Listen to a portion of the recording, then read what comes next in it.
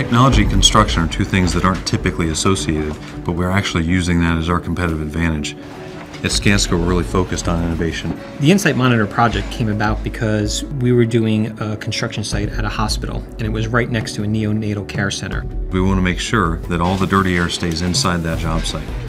We also want to make sure that we're not jackhammering or introducing any kind of vibration that would disturb the operations that the doctors need.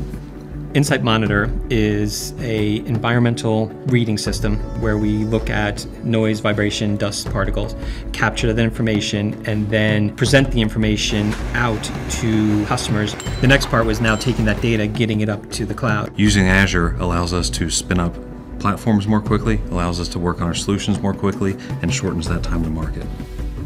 Azure gives us a lot of platform as a service stuff that we weren't getting before. The table storage and the blob storage provides us really easy solutions for dealing with some of the data that we had to manage manually before.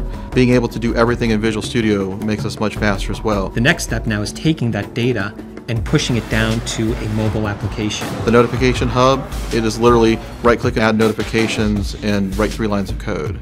The client view of this is that on their phone they'll have an application that will pull this data from Azure and will alert them if anything deviates beyond the norm.